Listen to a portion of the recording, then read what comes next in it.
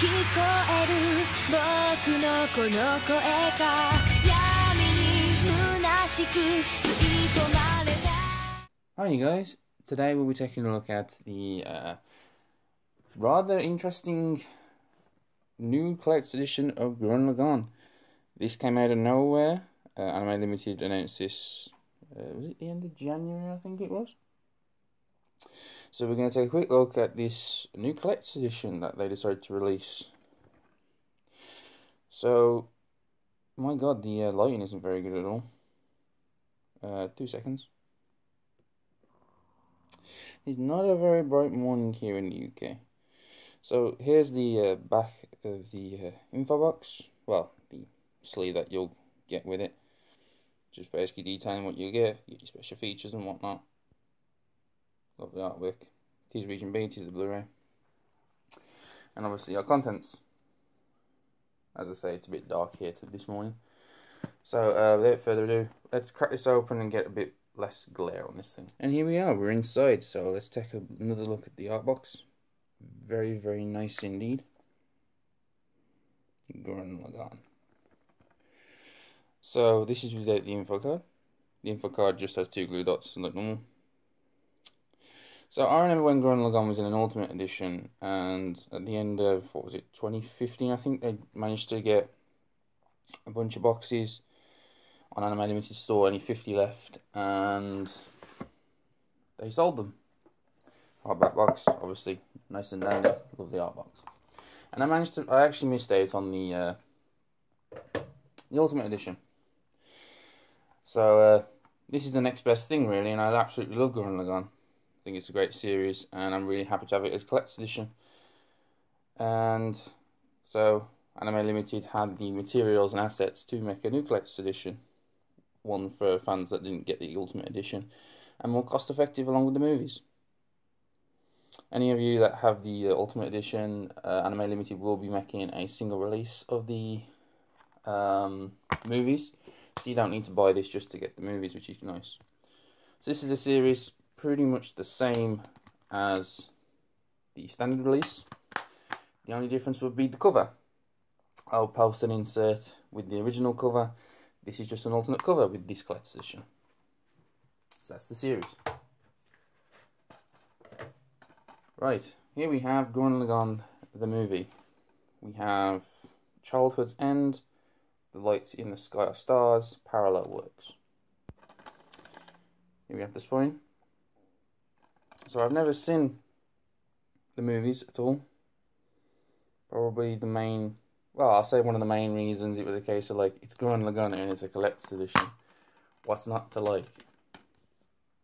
Here we have the disc, so on the left we have the lights in the sky are stars. Parallels number 8 through 14. Not quite sure what that means. There we go.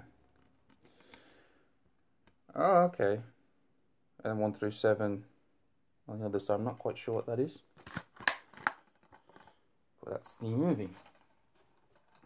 And the last but not least is the Gurren Lagann art book.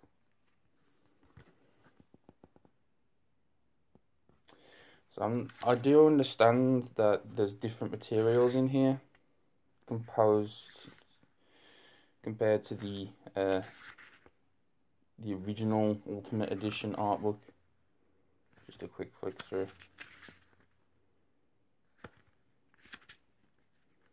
Okay, so that, that was the art box artwork.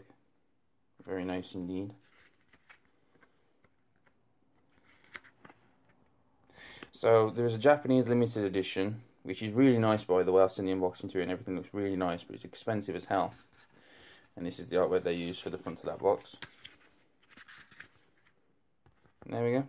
This was a uh, this is the art they used for a card, an authentic an authentication card in the Ultimate Edition, basically saying what number you were out of like two thousand, I think it was.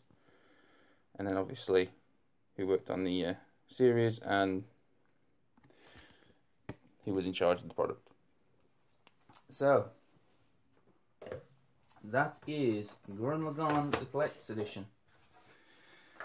And yep, it's just basically Gurren Lagann uh, bundled with uh, an art book, and films in a lovely collector's edition art box. And that's all it is. But for anyone that really likes Gurren Lagann, what a better way to have a series in such a glorious collector's edition. Very nice little collector's edition. I really like it. I think it's great, and I've always wanted the Gurren Lagann in a collector's edition. So Anime Limited obviously delivered. It looks really nice, and I'm really pleased with it. So, um, with all these setbacks in quarter one, not that it's you know anybody's fault. You know, it happens. Um, in terms of unboxings, I probably won't be doing another one for at least another month. I think I think the next one that comes out I plan to pick up is Noragami, which is like the twentieth of March. So uh, I'll probably be going on hiatus for a little bit. um, but at least it gives me time to sort things out and crack on with work and whatnot. I understand this is the first video in just over a week, so. But uh, yeah, I'll be going away for a bit while I wait for releases to come out. So uh, I would like to say unboxing soon. I'd like to see you guys soon again, but uh, I'm not sure if that's going to happen. Either or, until next time, guys, have fun.